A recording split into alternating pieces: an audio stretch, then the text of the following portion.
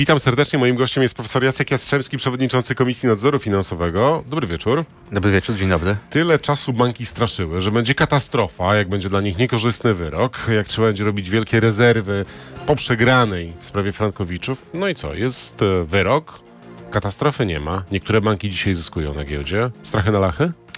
Panie redaktorze, y, na temat konsekwencji tego wyroku zostało powiedziane dużo. Wydaje mi się, że najważniejsze, y, co chciałbym, żeby wybrzmiało, to, że tak jak pan redaktor powiedział, y, katastrofy nie ma.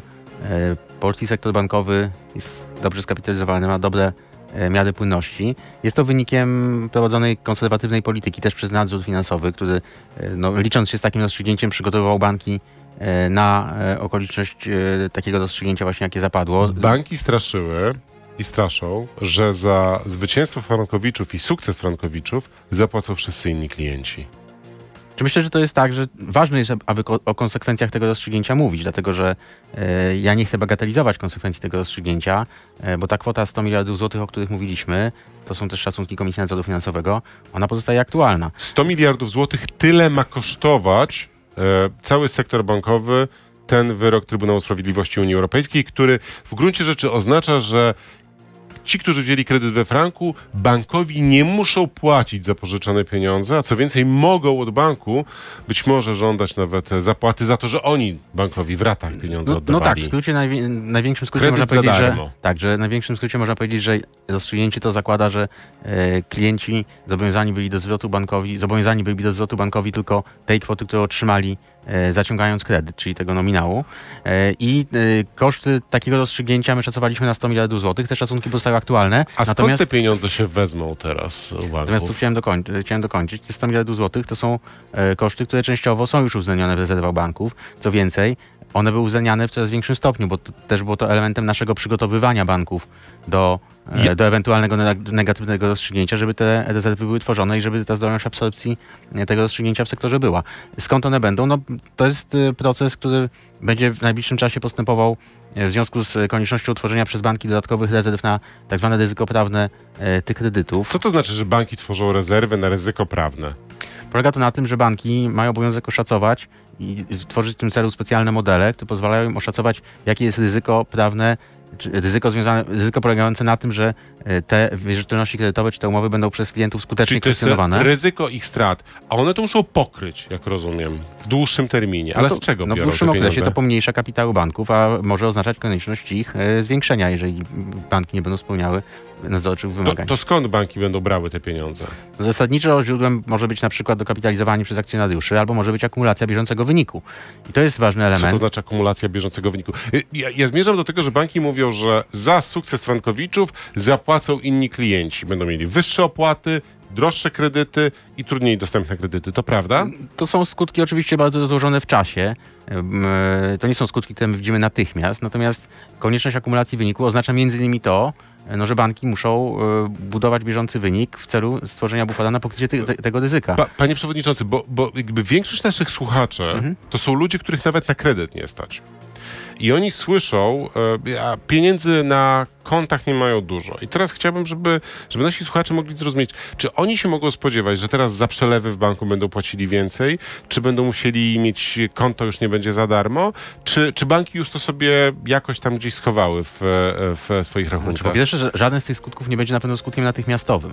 Natomiast to, co my będziemy widzieli, oczywiście jako nadzór banko bankowy też, no to jest konieczność zbudowania przez banków zdolności pokrycia tych rezerw, które będą tworzone na to ryzyko prawne, o którym wspomniałem wcześniej. Jednym z możliwych działań banków w tym celu jest na przykład akumulacja wyniku, czyli akumulacja bieżących zysków. E, w ostatnim czasie banki szczęśliwie z, punktu tego, z tego punktu widzenia, i to jest też odpowiedź trochę na Pana pierwsze pytanie, dlaczego e, ta katastrofa, o której było mówione wcześniej, dlaczego, nie, dlaczego, dlaczego my teraz mówimy, że banki są przygotowane? No bo na biednego nie trafiło, 12 miliardów złotych zysku No tak, dlatego, że banki, to też trzeba powiedzieć, są w dużym stopniu beneficjentami też sytuacji makroekonomicznej. Widzimy z jednej strony wzrost stóp procentowych, które powoduje, że korzystają na wzroście oprocentowania po stronie aktywnej, czyli po stronie kredytowej.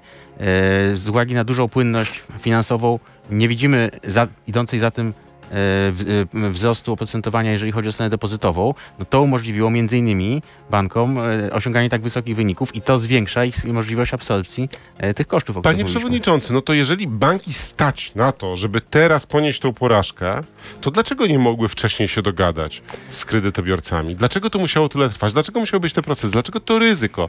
Czy ten serial się już w ogóle kończy? No, panie doktorze, to jest, to jest bardzo dobre pytanie. Myślę, że dotyka sedna sprawy. Ja też miałem okazję śledzić wypowiedzi wczoraj i dzisiaj e, i przedstawicieli sektora bankowego i śledziłem dzisiejszy wywiad e, pana prezesa Chrusnego e, w, w, w. E, no, wydaje mi się, że jest trochę tak, że banki w dużym stopniu liczyły na korzystniejsze rozstrzygnięcia prawne w tych sprawach.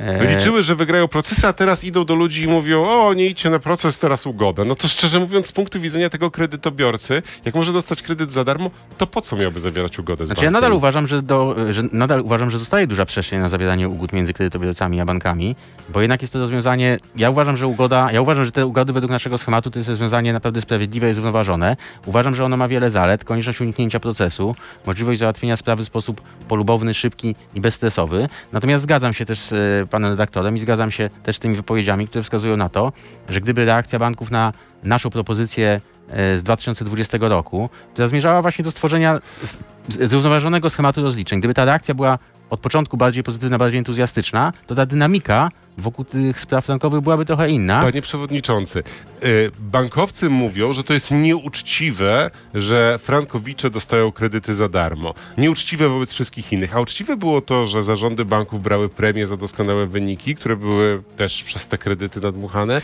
Czy, czy nie jest tak, że y, no, no, no, w zasadzie nikt po stronie banków nie poniósł konsekwencji tego, że taka była strategia. Tylko ci ludzie, którzy udzielali tych kredytów w latach 2005, 7, 10, 12, premie wzięli. Już ich nie ma bardzo często w bankach. Niektórzy nawet sami wzięli kredyty i pozwali swoje banki, bo są takie historie. I, i mówią, że frankowicze są nieuczciwi. Tylko, że panie redaktorze, ja koncentruję się na tym i na tym koncentrują się moje koleżanki i koledzy e, w urzędzie, aby znaleźć takie rozwiązanie tego problemu, które jest wykonalne tu i teraz. I nie sięgać już być może aż tak daleko wstecz, tylko zastanowić się, jakie rozwiązanie jest rozwiązaniem optymalnym. Za takie rozwiązanie uważam niezmiennie i, i za najbardziej uczciwe i sprawiedliwe uważam rozwiązanie takie, które Uczciwe zakłada wobec kogo? uczciwe w relacji między klientami a bankami, bo mówimy, że być może rzeczywiście... Bo banki mówią, że to jest nieuczciwe wobec tych, którzy wzięli kredyt w złotówkach, wobec tych, którzy byli oszczędni, którzy, którzy szybciej spłacali.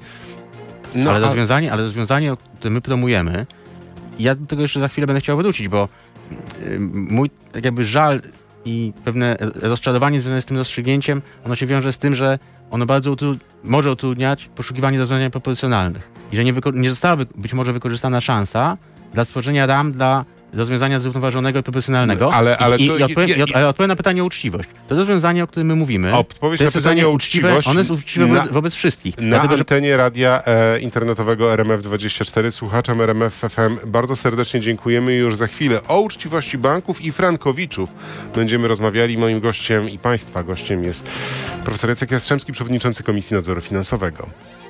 No właśnie, odpowiadając na pytanie o uczciwość, panie przewodniczący. Tak, no pytanie o uczciwość.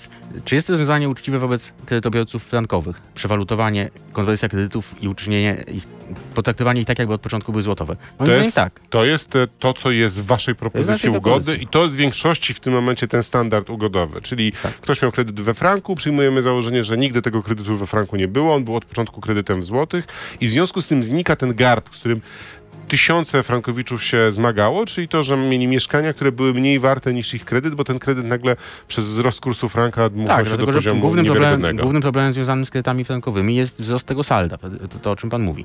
I potraktowanie tych kredytów tak, jakby od początku były kredytami złotowymi, jest uważam wobec kredytobiorców frankowych uczciwe z uwagi na to, że rozumiem, że oni zaciągali kredyt, żeby zaspokoić swoje potrzeby A mieszkaniowe. jakiego oprocentowania jest wtedy ten kredyt? No To jest wtedy stosowane oprocentowanie, syntety- poszukujemy takiego oprocentowania, które znajdowałoby zastosowanie do kredytu złotowego wówczas udzielanego.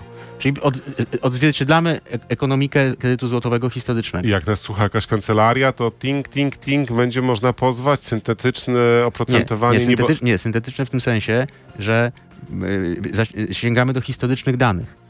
Czyli tak jakby ten tak- kredyt tak- był tak wzięty jakby- w złotym tak, tak według tamtego oprocentowania. złoto- Według tamtego oprocentowania.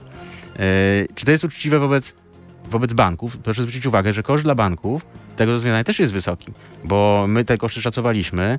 E, one zostały przedstawione przez nas i w, w materiale dla Sądu Najwyższego i są publicznie dostępne. To nie jest tak, że dla banków to jest rozwiązanie bezkosztowe, bo to ryzyko walutowe banki wstecznie niejako zdejmują ze swoich klientów. E, natomiast ja uważam, że to jest A ile koszt. to może, ile takie rozwiązanie, gdyby ono stało się standardem powszechnym, będzie kosztowało banki?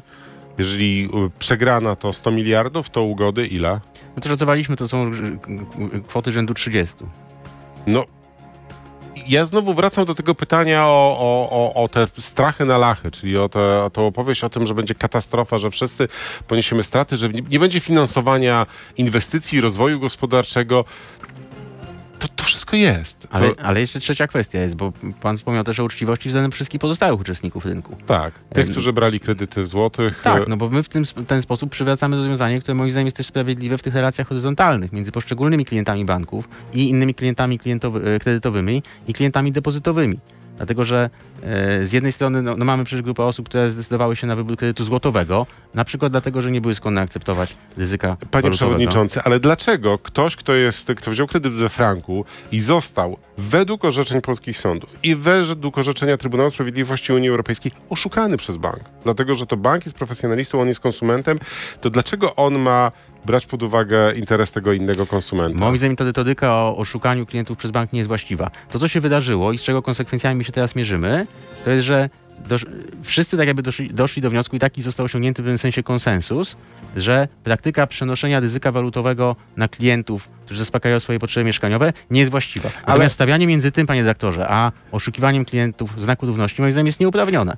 E, Okej, zgadzam okej, się, zgadzam ale, ale z drugiej strony mówienie e, ludziom, którzy przez lata mieli też, to, to były dramatyczne sytuacje życiowe. To znaczy, to było tak, że bardzo często ludzie przez lata byli uwięzieni w mieszkaniach, których nie byli w stanie sprzedać, które były zdecydowanie mniej warte niż kredyty, które im nagle urosły w sposób niewspółmierny. Bardzo często z tym się wiązały różne dramaty osobiste. E, e, mówienie im, że teraz to, że oni generalnie są w stanie wyjść z tego dramatu i żądać pieniędzy od banku, e, tych, które nadpłacili, jest nieuczciwe wobec kogoś innego, ja nie wiem, czy jest, nie jest uprawnione. Czy to nie jest takie napuszczanie trochę ludzi na siebie? Ja to jest narracja tak- banków. Ja na to tak nie patrzę, natomiast uważam, że to ważne, żeby wybrzmiało, że to zdjęcie tego ryzyka walutowego z mocą wsteczną, no, to nadal jest koszt. Także to nie jest tak, nie chciałbym, żeby, żeby, żebyśmy odnieśli takie wrażenie, że rozwiązanie ugodowe, które my proponujemy, to jest rozwiązanie, które jest dla banków bezkosztowe, a to, co się dzieje, to nakłada na banki koszt. To rozwiązanie ugodowe też jest dla banków kosztowne. I też tutaj chciałem powiedzieć, wykorzystać może obecność na anteniu pana redaktora, że powiedzieć, że no, my naprawdę jako Urząd Komisji Nadzoru Finansowego nie chcemy stać w tej dyskusji po żadnej ze stron. Nasz mandat jest mandatem wszechstronnym, to jest pewne wyzwanie. Natomiast my mamy w naszym ustawowym mandacie wpisane zarówno dbanie o stabilność i bezpieczeństwo sektora, ale też o ochronę uczestników. I dlatego też uważam, że no w naszym, i to, to jest to, co krzewie e, jako element naszego DNA organizacyjnego, że naszą odpowiedzialnością jest wyznaczanie tego właściwego standardu i rozwiązań proporcjonalnych i zrównoważonych. I dlatego też uważam, że to rozwiązanie i stąd moje, moje e, krytyczne wypowiedzi na temat em, e, tego, e, te, skutków tego rozstrzygnięcia, które zapadło, bo to rozstrzygnięcie, no, ono niestety nie ułatwia nam poszukiwania rozwiązań No, proporcjonalnych. i ale zrównoważonych. panie przewodniczący, ja, e, ja rozumiem tą rolę nadzoru i, i to, to, to nie są pytania do pana tak naprawdę nadzoru, tylko to jest pytanie teraz z punktu widzenia kogoś, kto może mieć albo ugodę, albo pozwać bank. Okej, będzie musiał czekać na rozstrzygnięcie sądowe, jak to w polskich sądach, parę lat pewnie. Ale zyskać może zdecydowanie więcej. Jaki jest argument przemawiający za tym, że miał ugodę, oprócz, oprócz szybkości? Szybkość jest istotnym argumentem, ale też chciałem powiedzieć, że według naszych informacji i posiadanych przez nadzór, no to co banki oferują teraz, to już jest naprawdę bardzo atrakcyjna oferta i zgadzam się z tym i mam o to szczerze powiedziawszy... Ale to nadal nie jest kredyt za darmo, a wygrać można kredyt za darmo. Co więcej, to orzeczenie CUE, ono potencjalnie daje możliwość też do tego, żeby żądać zapłaty od banku za to, że on korzystał z tego kapitału i być może nawet szukać jakichś dodatkowych pozów. I o tym kancelarie też już mówią. No wiem, ale podam panu taki przykład. Opinia Rzecznika Generalnego jest znana od 16 lutego. Mm, Wiemy ze statystyk, że Trybunał Sprawiedliwości w większości przypadków podzielał mm, Tak. opinię Rzecznika, a mimo to dzięki temu, że banki no, zrozumiały po 16 lutego, że trzeba się realnie liczyć ze scenariuszem negatywnego rozstrzygnięcia e, tej sprawy, e, zaangażowały się bardzo mocno w proces ugodowy i te ugody, mimo tej opinii Rzecznika Generalnego, były realizowane, chociaż też można przecież twierdzić, że klienci mogli byli czekać na rozstrzygnięcie Trybunału Sprawiedliwości, nie podpisywać ugody. Więc ja uważam, że w tym jest wartość i to też pozwala mi patrzeć z optymizmem na to, że jednak duża część tego portfela będzie mogła być e, skonwertowana w ten sposób, no, który uważam za, za najbardziej właściwy. Czy realne jest to, że kredyty e, złotowe będą trudniej dostępne teraz, że banki będą mniej chętnie udzielały kredytów? Prezes Cezary Stypułkowski z e, mBanku podkreśla bardzo często, że podważenie istoty zobowiązania kredytowego przez CUE o, oznacza, że tak naprawdę dawanie kredytów jest w ogóle zjawiskiem bardzo ryzykownym i nieopłacalnym. Wie pan, ja generalnie nie akceptuję tego, tego podejścia, które prezentują niektórzy przedstawiciele sektora bankowego, jakoby ten kredyt hipoteczny to był coś, e, co banki tak jakby oferują e, w zasadzie na zasadzie misyjnej. No, one to robią dlatego, że na tym realizują e, korzyści ekonomiczne. Zarabiają więc oczywiście więc będą to robić. Natomiast czy w długim okresie ta erozja kapitałów i wzrost ryzyka prawnego w ogóle związanego z kredytami mieszkaniowymi może trochę ograniczać dostępność do tego produktu. No w długim okresie nie można tego wykluczyć, ale to nie jest tak, e, że banki powiedzą, że e, nie oferują hipotek, e, bo no, oferują hipoteki po prostu z przyczyn biznesowych. Czy możemy, możemy mówić o tym, że sektor sobie radzi dobrze, ale są banki, które są bardzo mocno ufrankowione, bo dawały dużą częścią ich portfela są te kredyty we franku. To zresztą widać nawet w dzisiejszych notowaniach na giełdzie. I e, e no, i, i, są też informacje e, oficjalne i nieoficjalne o tym, że niektórzy zagraniczni właściciele e, banków myślą o tym, żeby z polskiego sektora wychodzić. E, dwa pytania. Po pierwsze, co by się stało, gdyby odpukać jakiś bank upadł? Jak by to wyglądało? Nie zakładamy takiego scenariusza. Nie grozi nam upadek żadnego banku w Polsce? Nie zakładamy takiego scenariusza. A jesteście gotowi na niego? No my siłą rzeczy musimy być gotowi na każdy możliwy scenariusz. Istnieje sieć bezpieczeństwa finansowego. E, natomiast nie zakładamy takiego scenariusza i jesteśmy przekonani, że są w naszych rękach, w rękach sieci bezpieczeństwa e, wszelkie narzędzia nadzorcze do tego, aby takim scenariuszom zapobiegać. Wy widzicie, jak wygląda portfel poszczególnych banków, widzicie, jak, e, jak zachowują się też te kredyty, które tam są no, no bez wskazywania na to, jakie banki chodzi, ale są takie właśnie, które mają więcej tego kredytu. Nawet w najczarniejszym scenariuszu im nie grozi upadek? No, tak jak powiedziałem, panie doktorze, nie zakładamy takiego scenariusza. Yy, wiemy oczywiście o tym, że poziom, jak to pan powiedział, ufrankowienia poszczególnych banków jest różny. Yy, jesteśmy oczywiście w bieżącym kontakcie nadzorczym ze wszystkimi bankami, też z tymi bankami yy, o wysokim wskaźniku tych aktywów w ich łącznej sumie aktywów.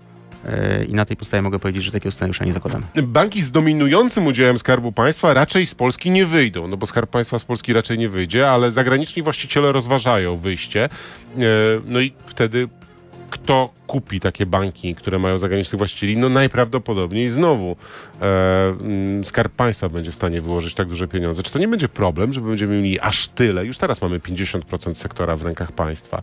To, to nie będzie problem, że jeżeli będziemy mieli 60-70, że zabraknie konkurencji? Nie, nie, chcę, nie, nie, chcę wchodzić w tego rodzaju spekulacje na temat potencjalnych ruchów i konsolidacji e, w sektorze bankowym. Myślę, że na to jest za wcześnie, dlatego że no to orzeczenie jest orzeczeniem wczorajszym. E, podejście do wyceny tych aktywów, czy podejście do tworzenia rezerw będzie się pewnie kształtować na przestrzeni najbliższych miesięcy. Więc myślę, że wydaje, że na taką dyskusję y, no to, jest jeszcze przed, to jest jeszcze przedwcześnie. E, a jak będzie z kredytami w złotówce? Jak będzie ze z tak zwanymi złotówkowiczami? Oni też mogą iść do sądu, też mogą powiedzieć, że tak zwane ryzyko stopy, czyli fakt, że nagle im rata poszła do góry, dlatego że stopa procentowa poszła do góry, to też jest coś takiego, co bank powinien wziąć na siebie. E, czy, czy, czy grożą nam pozwy złotowo-wiborowe? Ludzi, którzy stwierdzą, że WIBOR to jest w ogóle taki wskaźnik e, budzący wątpliwości i w zasadzie należałoby unieważnić tę umowę? Myślę, że tu trzy kwestie co najmniej się pojawiają w związku z Pana pytaniem. Zacznę może to ostatniej. WIBOR nie jest wskaźnikiem budzącym wątpliwości. WIBOR jest wskaźnikiem, który jest opracowywany przez administratora, spółkę GPW Benchmark pod nadzorem Komisji Nadzoru Finansowego w zgodzie z regulacjami unijnymi, więc y, tutaj jasne jest stanowisko wszystkich instytucji wchodzących w skład sieci bezpieczeństwa. Y, ten wskaźnik spełnia wszystkie wymagania, wymagania regulacyjne, e, jest wskaźnikiem e, adekwatnym, w związku z czym e, nie ma podstaw do jego kwestionowania. To jest tak jakby pierwsza kwestia. Druga kwestia, pan zadał pytanie, czy istnieje ryzyko kwestionowania. Ryzyko kwestionowania zawsze istnieje, natomiast moim zdaniem, tak jak powiedziałem wcześniej, ten wskaźnik jest wskaźnikiem, jest wskaźnikiem prawidłowym i, i przez nas jego proces opracowania jest nadzorowany. Co do ryzyka stopy procentowej, no, co mogę powiedzieć? Uważam, że dużym osiągnięciem ostatnich lat i tutaj powiem wprost, że jest to e, w dużym stopniu zasługa e, Urzędu Komisji Nadzoru Finansowego, mm, jest spopularyzowanie kredytów e, mieszkaniowych o stałej stopie. Uważam, że tę kulturę stałej stopy należy budować. Nasza rekomendacja S, która wprowadziła obowiązek jej oferowania, no, początkowo nie spotykała się z wielkim entuzjazmem środowiska bankowego, więc było to nasze działanie, można powiedzieć, takie trochę władcze.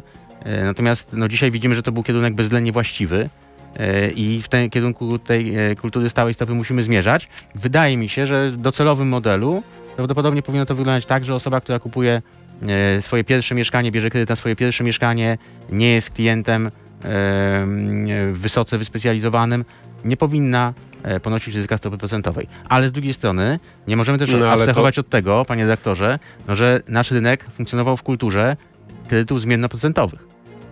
E, I to nie jest tak, że nawet jeżeli dzisiaj widzimy, I to, że powinniśmy to nie zmierzać jest standard europejski. To nie jest, my byliśmy wyjątk, wyjątkiem mimo wszystko na rynku.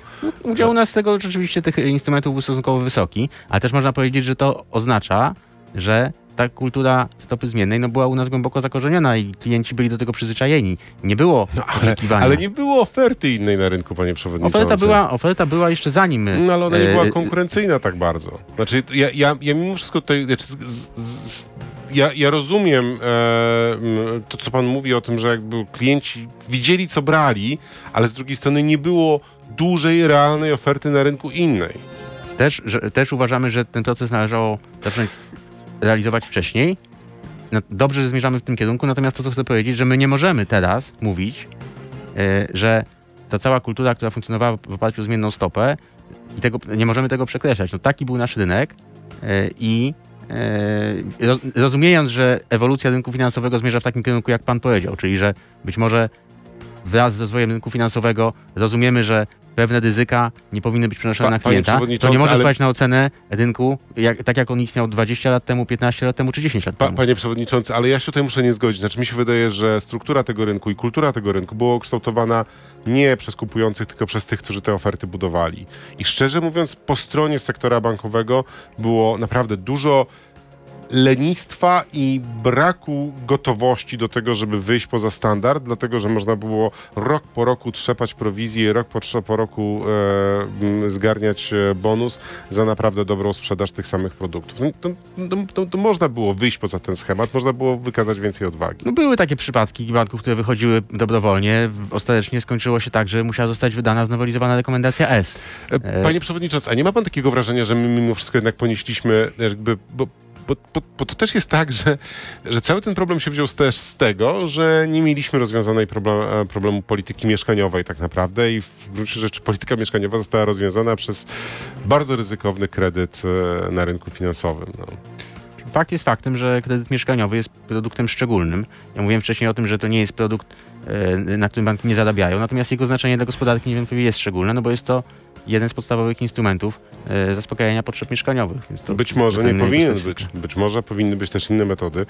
Ale to jest już rozmowa na inną dyskusję, bo to były też e, metody trochę poza rynkiem finansowym. O tym się dużo pewnie w kampanii wyborczej będzie mówiło. Profesor Jacek Jastrzębski, przewodniczący Komisji Nadzoru Finansowego, był gościem popołudniowej rozmowy w RMF FM. Dziękuję bardzo serdecznie. Bardzo dziękuję. Do widzenia.